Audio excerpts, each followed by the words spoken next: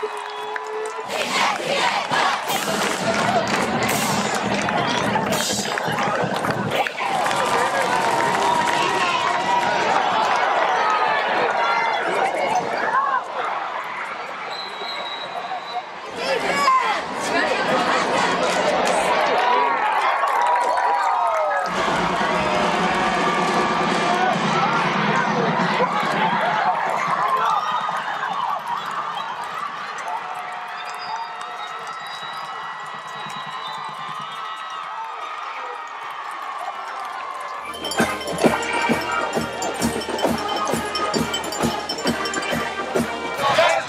Cameron Martin, great game tonight over a hard-fought Friendswood team. You guys are now seven and zero. Oh.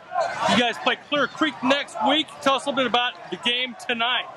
Tonight we had a um, hard-fought game. You know, we played tough. The team against us was very physical, and we just had to come in and execute. And at the beginning, we didn't do that. We started off a little slow and execute, but at the end, we started picking it up, and that's what helped us got the dub. You got a tough Clear Creek game next week. Tell us a little bit about uh, how you guys can prepare for that game. You just got to have a good practice week, come in, stay focused, and execute on everything.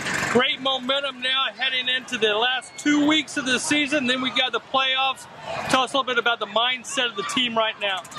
Right now, we're not too focused on the playoffs right now. We're just trying to take it game by game. So every week, we're just planning to be 1 0 until the playoffs come. Great, uh, great crowd tonight. Tell us a little bit about the great uh, community of Dickinson coming out and supporting you guys. Oh, man, it feels great to know that the fans are behind us. It just, it's very elating to know that we have people that support us, even when times are hard, that still support us and keep us revved up.